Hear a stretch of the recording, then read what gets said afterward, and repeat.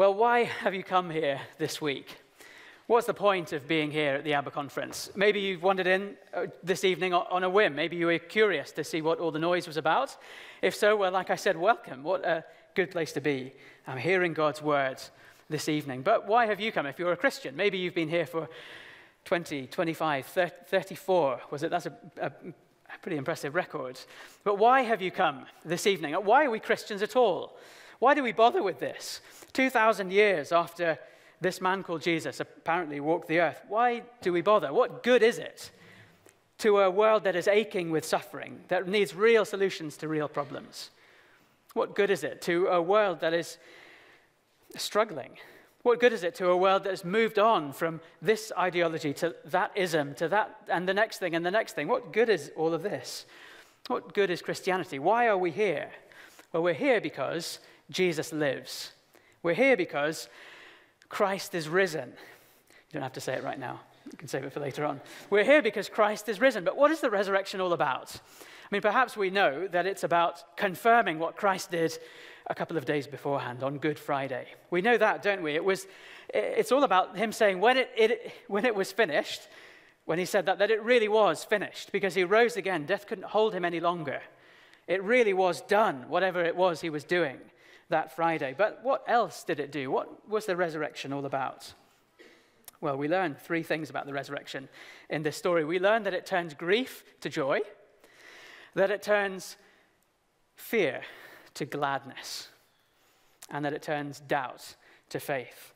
And adding to all of those things, it gives a mission. A mission for Mary, a mission for the disciples, and a mission for Thomas. But first of all, it starts with um, real sadness, real emptiness. Emptiness in the tomb, emptiness in Mary's heart. My sister, um, my little sister, a good number of years ago now, on her birthday, was really looking forward to a, a, a present. It was a, a, pair of hair straighteners, pretty posh hair straighteners you could get back then called GHDs. I don't know if you were into hair straightening, that kind of thing. But they were nice hair straighteners. She'd be looking forward to getting, getting that, asked mum and dad for those. And on her birthday, a box, suspiciously right looking box, arrived. And it was wrapped well, and she unwrapped it, but it was a little bit light. So she opened it and pulled out a bit of cotton wool and then some more cotton wool. And I can't remember what was in there. I think it was maybe a wooden spoon or something, but it wasn't the hair straighteners that she wanted. And you can imagine the, the look on her face, the kind of uh, her life that was kind of filled with adolescent kind of materialism. And the look on her face when she opened the present, the thing that she'd always been longing for, at least for a, few weeks anyway.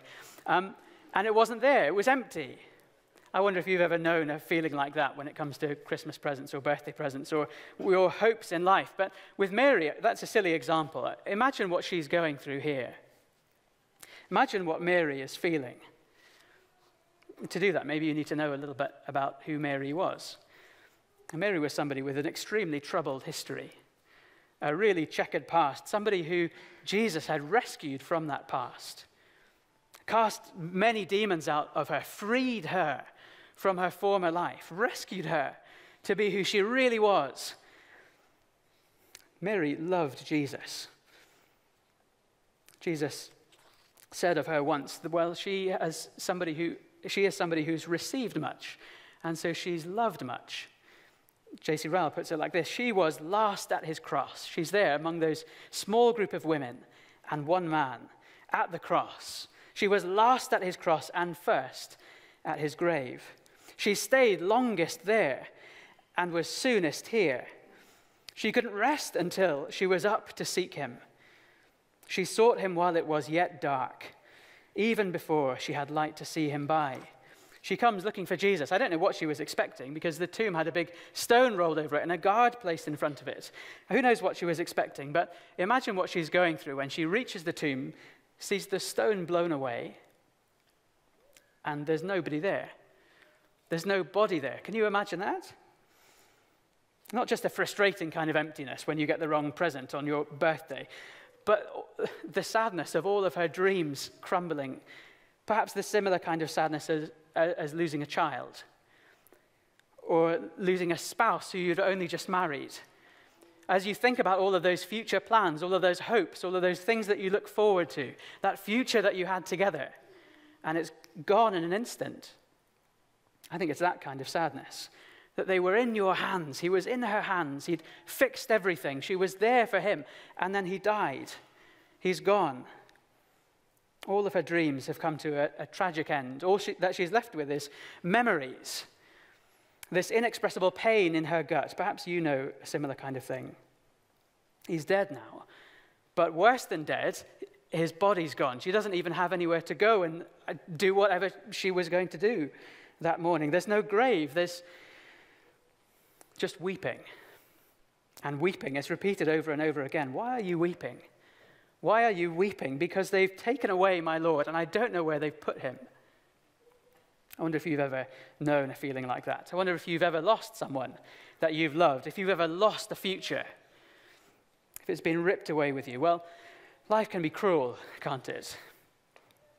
There's a real finality to it that hangs over everything that steals away what we want most, steals away love without parting, steals away life without end, makes it feel like evil triumphs over good. It's, it's the finality of death. Isaiah talks about it as a blanket that hangs heavy over humanity, that robs us of joy and gladness, that robs us of hope and a future, something that sours every human joy and sweetness. Because all of that comes to an end in death, ultimately. What do you make of a situation like that? What do you do in a situation like this? Perhaps you do the British thing and keep calm and carry on, make the most of it, have a stiff upper lip. That's always confused me, though, because with me, it's my bottom lip that goes, isn't it, when, you when you want to cry. So I don't know why it's a stiff upper lip. But anyway, um, life goes on, perhaps. You know, just get used to it. That's what life is all about. I don't know how Mary was preparing to handle it. And perhaps she wasn't really. Perhaps she was trying to begin to come to terms with Jesus as a good teacher, as a, a moral inspiration, that he wasn't there anymore. Perhaps there was anger and denial and confusion and all of those cycle of things that go around in grief. But in this story, well, that's not the end of the story. In this story, something huge changes. Not just for Mary, by the way, but for you and I. Something totally unexpected happens. In all of her grief and confusion, going to the tomb, a tomb that's been sealed, and who knows what she's going to do, but in all of her grief and confusion, a voice speaks. We were hearing about this voice this morning. A voice speaks. And she turns, and she doesn't realize it at first, but it's him. It's the Master, the Lord, raised to life again. And as Sam said in his prayer, everything sad begins to come untrue. I mean, could it be true? Could it, could it be real that he's really alive and standing there? Did you see that repeated through? That he's standing with her and standing with the disciples, not lying prone in a tomb, wrapped up, bundled up, hidden away, but he's standing there out in front of everybody, in front of her. Not wrapped up, just resuscitated like Lazarus was. Do you remember him stumbling out of the tomb, wrapped up in his grave clothes? They had to move the stone for him. No, Jesus wasn't just resurrected. And how on earth is this, is this possible? That he's gone through death and gone out the other side. This shadow that terrifies everyone, really, when you begin to think about it, when you begin to find those new grey hairs. This shadow that creeps ever closer with every creak of the knee. You try and put it off and you put it to the back of your mind, but I wonder if you felt it. The cold creep of death as it steps ever closer with each passing day, that blanket weighing over humanity. Well, death, he has beaten it. He's torn it in two. He has ripped its teeth out at the roots. You must understand this. It's not resuscitation like Lazarus, where they had to move the, the stone and take the, the, wraps off of him, where death lost its hold for a moment. But a few months or years, we don't really know, later, Lazarus was was taken into death again. It's not resuscitation like that. No, crucifixion sees to that kind of thing. Look at the details of it, and you'll see there's no coming back to life from that. It's not reincarnation either, where you're reborn into another corruptible body. You know, in the, caught in that, that never ending life cycle of death and decay and being in somebody else's body or an animal or whatever it is. It's not like any of those things. This is resurrection. This is a new kind of life recognizable but new, like a seed is to a plant. In a body, a new kind of life in a body that can be seen and touched, that can be held, that can be cooked, that can eat, that doesn't float two feet off the ground, but whose feet touch and feel the grass. A body that can dance, a body that can go for long walks and stay up for late night chats, a body that somehow passes through those grave clothes but still has the time to stay behind and fold them up. A body that passes through the stone. You realize you didn't need to move the stone, did you? That it's moved so that we can see in, not for him to get out. He's not like Lazarus. No, Jesus is alive. He has his flesh and bones, not just in the old story, but in historical reality. Jesus has his flesh and bones, not as a metaphor, not as some higher truth, not as some psychological experience that the, that the disciples had. It's impossible. There's no such thing as a corporate delusion like that. It's not just that he lives, he lives, he lives within my heart, as if I shut my eyes and switch off my rational mind and just believe. No, he really lives. He lives. He made his mark on history. Follow the evidence, and you'll see where it leads that Jesus gave us evidence to see and to taste and to touch and to read and hear about with our senses. He made his mark on history. Jesus, a Middle Eastern man who did remarkable things, who was brutally executed, but three days later, there he was. Wouldn't that be a wonderful sight? There he was, standing there with Mary's name on his lips. He was actually alive. And mad as it seems, okay, rationality bending, um, scientific law defying as it seems, he was actually alive. Follow the evidence where it leads, and you'll find that it's compelling. Come to him, speak to him, hear him speak to you, and you'll know that he lives. But what does it mean? What does it mean for you and I today? Because if it's true, then whether you believe it or not, if it's true, it has eternal significance, really deep significance for you and for me. No other fact in history is more important than this, whether you believe it or not, whether you think that Christianity is a, a, good way of life or not, whether you agree with Christian morality or not, whether you have been to church a million times or not at all, wh- whoever you are, this fact of history has eternal significance for you. But what does it mean?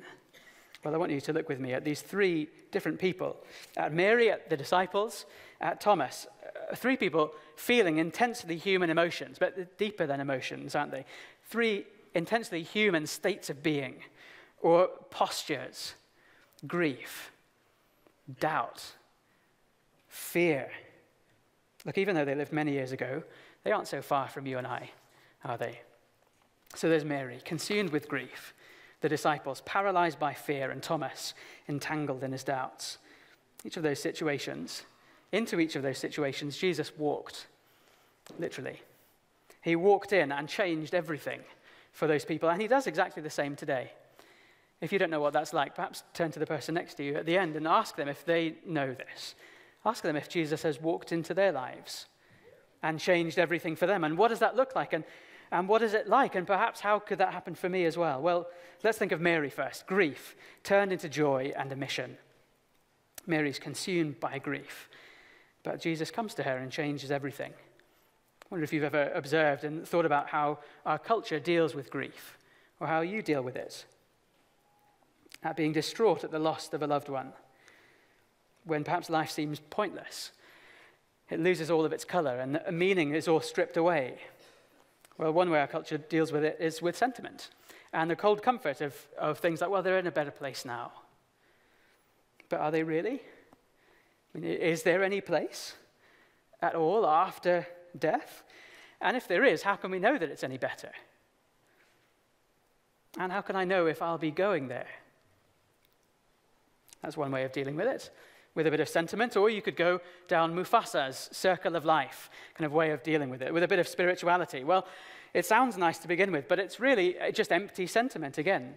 And you, as a person, disappear in the circle of life. There's no personality in the grass that your carbon, your nu- the nutrients in the chemistry of your body um, nourishes. There's no personality in that grass. There's no love there. It's just your chemistry being used to fuel the next cycle of futile existence as the world goes round and round in a circle. There's no love there. There's no you there.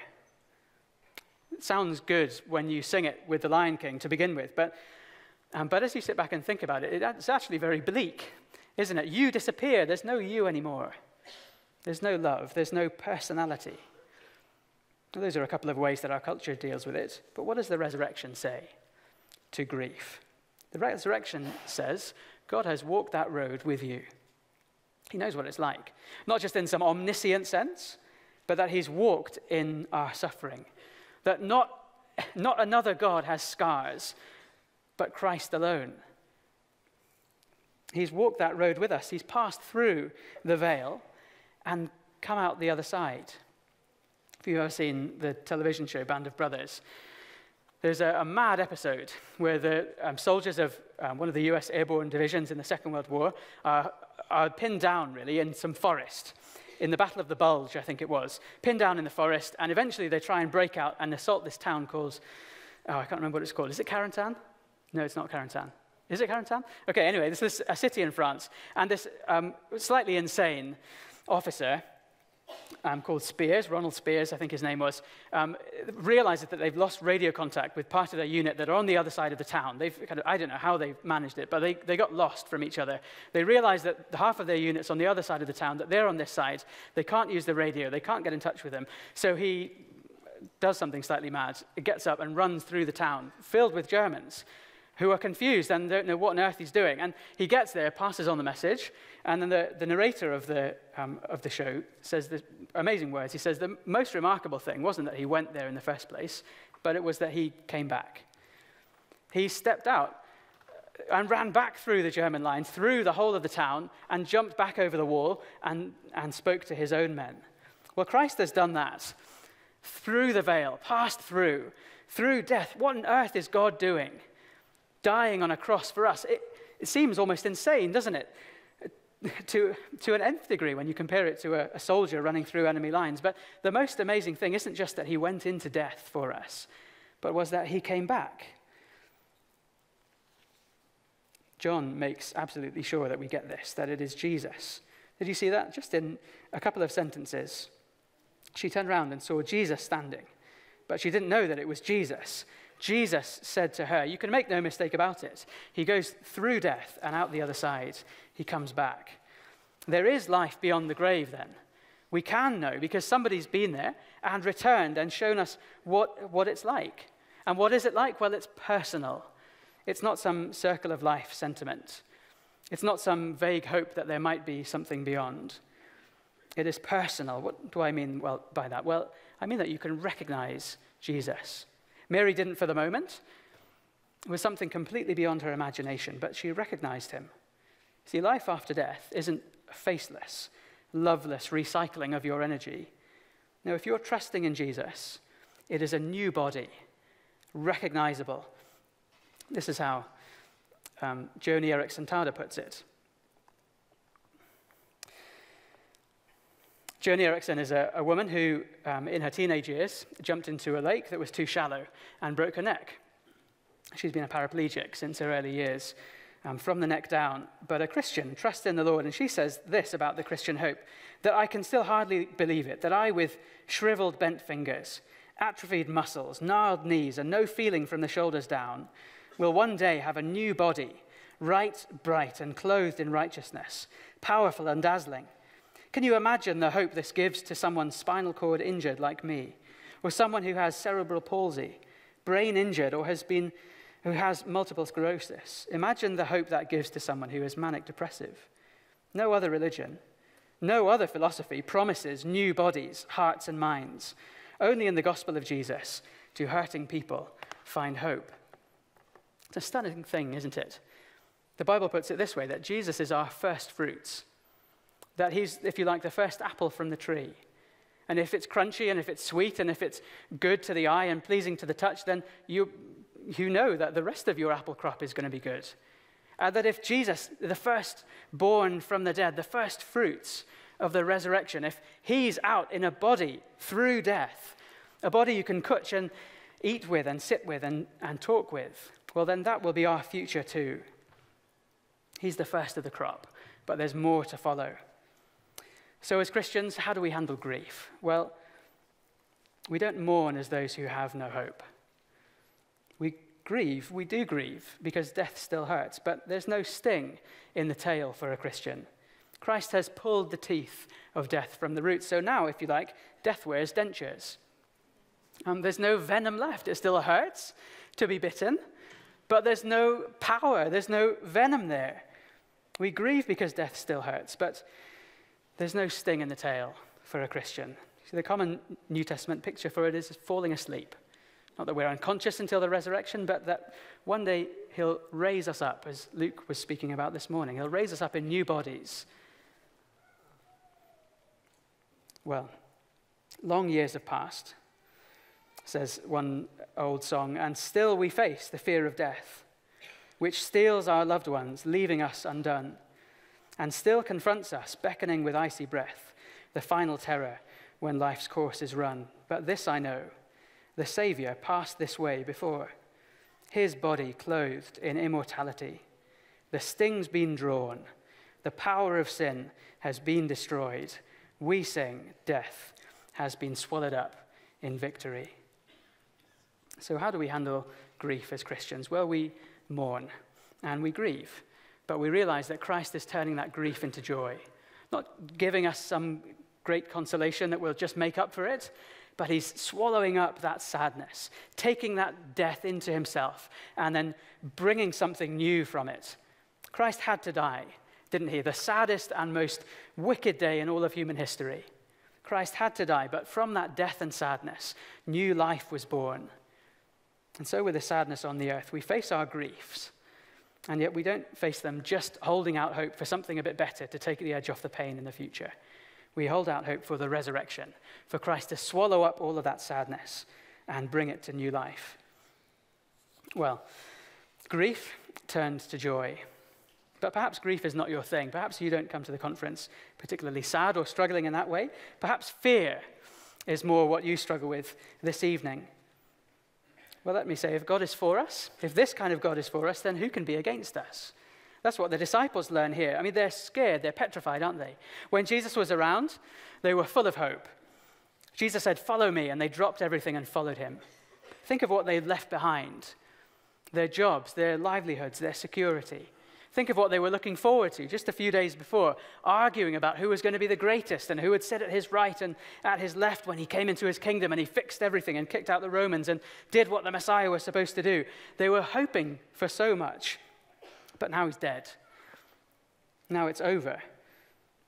And all of those hopes for the renewal of Israel, all of their hopes for the future, all of, all of their dreams are crushed as well. The dream is over. So, what do they have left? Well, get your head down and just hope that you'll ride out the storm. Imagine what it would be like going back to your home. Wonder if people would be there watching for you to come back, knowing that you are one of those people who was with that upstart Jesus. Imagine the fears that they have of, of ever being able to get a job again, of ever being able to feed and provide for their children again, fear for their reputations, and far beyond that, fear for their own lives. Because if they came for him, then they'll surely they'll be coming for us next. And so they've locked themselves in a room. They're terrified. But then Jesus walks in, literally, and turns everything upside down. Um, because it turns out he's alive. He's alive, and the worst thing that the authorities could do, well, they did it. And he beat that. They couldn't stop him, they killed him. But now he's alive again. Like in that great story of Aslan and the wicked white witch. She does her worst. She gets Aslan on the stone table and cuts his throat, and every, everything is tragedy. But then somehow, somehow, he, he's alive again. And spring begins to break out, and snow begins to melt, and everything sad begins to come untrue, and fear begins to melt away. The authorities have done their worst, but they still couldn't stop him. What else could they possibly to do to Jesus? What else could they possibly do that he couldn't overcome? So fear is gone, or at least fear of the authorities. Gladness fills their hearts eventually. Because if this God is for you, I mean, the kind of God who can raise people from the dead, then who can be against you? What can man do to me? But that is a big if, isn't it? If God is for us. Can we be sure of that, really? Especially considering what I've done. Especially considering those things that, um, that keep me up at night. Especially considering, think of someone like Peter, who's denied Jesus over and over again. Is it really good news? when he comes back? What is he going to do to us? What is he going to say to us? The debt that I owe to God is enormous. When I stand before him, if Peter's standing before him in that room, or when I stand before him on that final day and give an account of my life and how I've used the talents that he's given to me, and he says, Well, what have you done? What will I say to him? You see, there is a fear that's far worse than the fear of authorities. It's the fear of the one who is in authority over all things, the one who holds my eternal destiny in his hands. As Jesus said, I tell you, my friends, don't be afraid of those who kill the body, and after that can do no more. But I will show you whom you should fear. Fear the one who, after having been killed, has power to throw you into hell. Yes, I tell you, fear him. Well, who is that one? Well, John met him a few years later on the island of Patmos. At the, right at the beginning of his vision of Revelation, you read of Jesus coming and appearing to John, and of him saying, I am, I am the first and the last, the living one. I died, and behold, I am alive forevermore, and I have the keys of death and Hades. Now we're terrified, standing in the room with a person who can lock you into death for eternity. But there's good news there too, because really the one who's standing there is the one who can lock you out of death, lock you into eternal life for eternity too. Because look at what he says. And he knows exactly what they're feeling, he knows exactly what to say. He stood among them and said, Peace be with you. I haven't come to throw you out into the darkness, I haven't come to lock you out of the kingdom in disappointment. I have come to bring you peace. And so that's the answer. How can I stand on that final day? How can I ever hear him say, Peace be with you? Well, it's because of Good Friday. It's because of what he did a couple of days earlier on. It's because of the kind of death that he died, that Jesus stood in your place if you've put your trust in him, that he stood in my place, that he stood under the violence of God so that we could know the peace of God, that he stood under the wrath and anger of God at sin, that he became sin for us, that he drank that cup to the dregs, that he was a, a, burnt offering, burnt up in God's anger, that he died in darkness, that he, if you like, lost the face of God, that he cried out, My God, my God, why have you forsaken me? That he was forsaken so you could be welcomed. See, the resurrection does say it is finished that your debt is paid, that, that whatever it is that you've done that keeps you up at night, bring it to Him. And it can be gone, it can be cleaned away, that there is nothing for you to fear. It would be wrong and unjust and unholy of God to punish you again for something He's already punished Jesus for.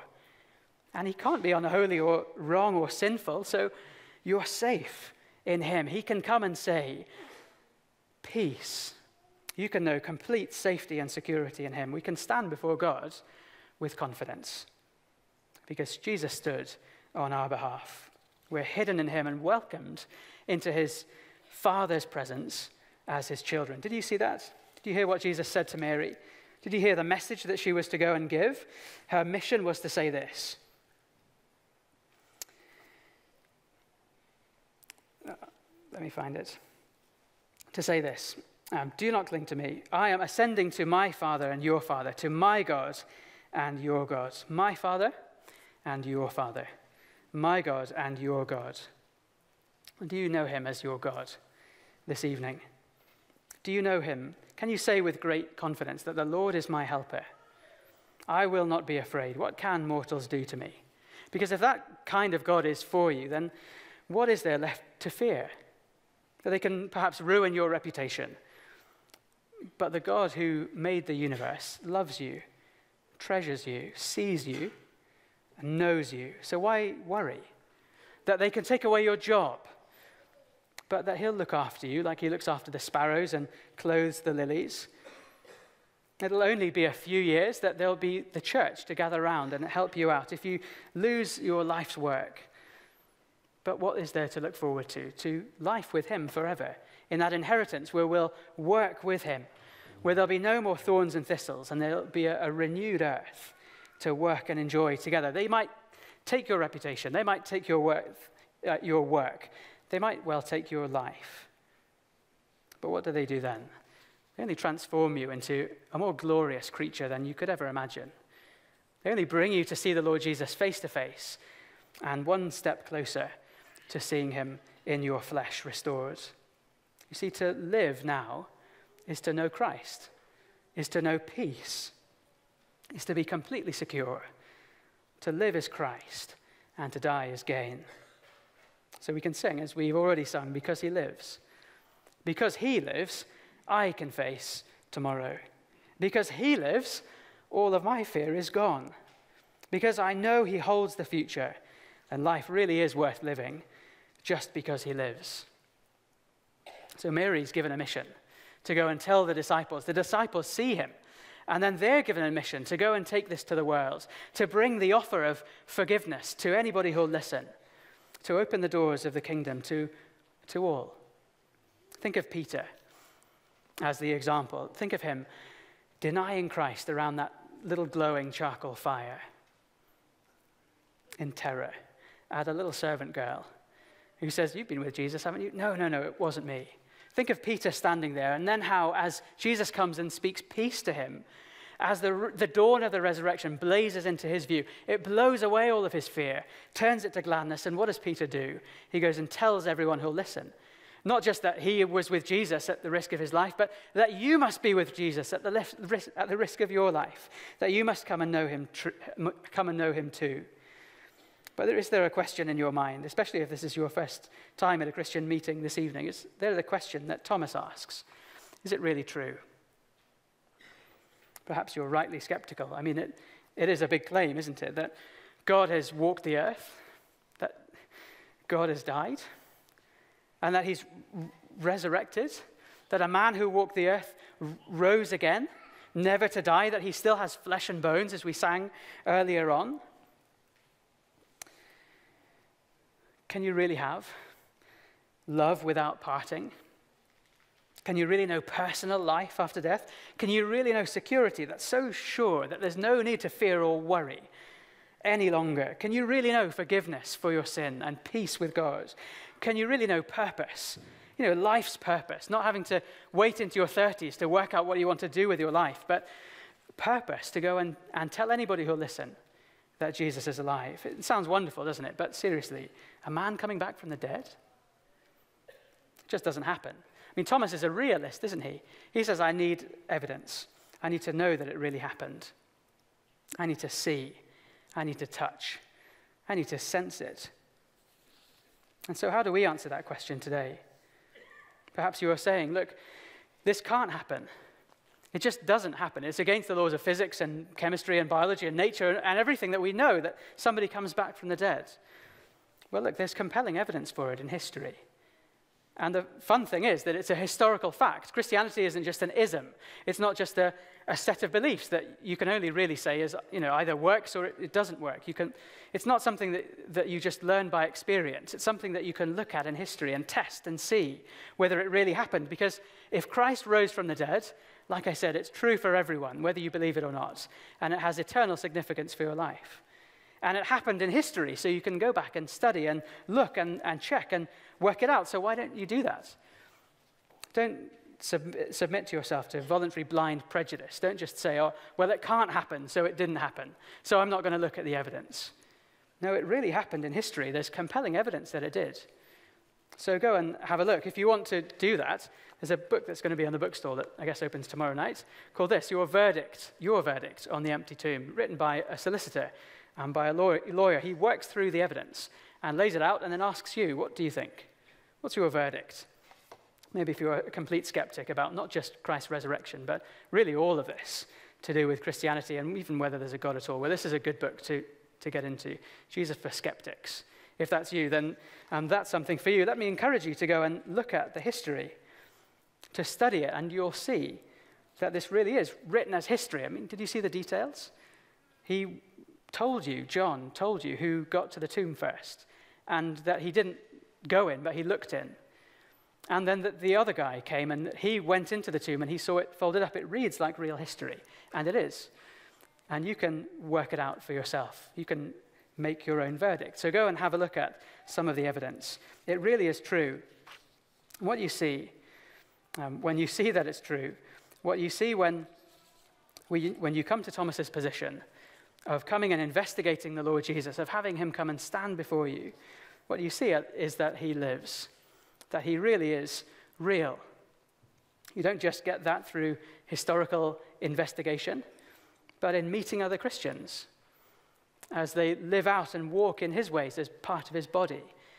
You get that as you pray and ask the Holy Spirit to come and show you and speak to you, that you would, in a similar way to Thomas, but not quite, that you would know Christ lives, not just as a historical fact, not just as an object of study, but that he lives and that he speaks and that he will live and walk with you today. When you look into it, you'll find the evidence really is compelling that there is no doubt that Jesus rose from the dead. And if he rose from the dead, then he's king over everything. If he's beaten death, that final enemy that nobody has come close to defeating in all of human history, if he's been through it and out the other side, then has he not proven it once and for all? That he's not just some moral teacher. And plenty of moral teachers say, This is the way, but Jesus says, I am the way. They say, This is life over here, but Jesus says, I am the life. I am the resurrection. See, Jesus is no mere myth to entertain the children at bedtime. This Jesus is Lord, whether you believe it or not.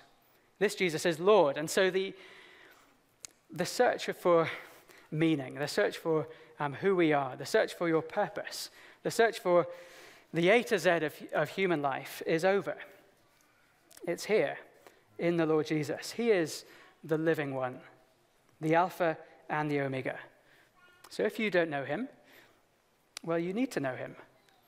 It's a good idea in your doubts to ask for evidence. It's not a wrong thing that Thomas does to say, I need to see him. I need to know that this is really true. I don't just want to take a, a leap of faith with nothing. It's a good thing to ask questions, but don't just ask questions. Take a good long look and search your heart and realize that perhaps the biggest reason you haven't come to know Jesus is because you don't really want to. Well, come and do some digging. Come and find him. Come and consider that if it's really true that he can give us love without parting, isn't it worth investigating it? Isn't it worth coming and bowing the knee to him and saying, My Lord and my God? Well, what's the point of being here this week? The point of being here this week is to learn more of Christ, to draw closer to him. We're here because of the resurrection. What is the resurrection all about? Well, are you weeping? Well, then come to Jesus. Let him comfort you. Come and see him risen from the dead, the sure hope of your resurrection, the sure hope of him making all sad things come untrue. Are you weeping? Come to Jesus. Are you afraid? Come to Jesus. See that the worst thing humanity could ever dream up happened to him, and he came through the other side. He came back for you. So, whatever happens to you, you can handle it because he handled it and he's walking with you. Are you afraid? Come to Jesus. Are you doubting? Come to Jesus. Come and investigate. Come and search. Come and meditate. And come and marvel at the Lord Jesus Christ. But don't stop there. This isn't just something for us, for us personally, something for us to take to the world. Mary took it to the, to the disciples. The disciples took it to all corners. Thomas took it to India and died there. So, where will you take this gospel? Next door? To someone that you might bump into on the seafront or in a cafe this week? If you still have your health, you jolly well should be thinking about taking this to the other side of the world because there are thousands of tribes and billions of people who still have no idea who the Lord Jesus is, who still can't even accidentally come across his name. So if you have your health, seriously think and pray. Go to the missions exhibition and consider whether you should go. I mean, we should all go, but consider whether you should go and cross continents and use the rest of the time God has given you on this mission to take the good news of this risen Savior to the world. He really is alive, you know. Christ is risen. He is risen indeed. Hallelujah.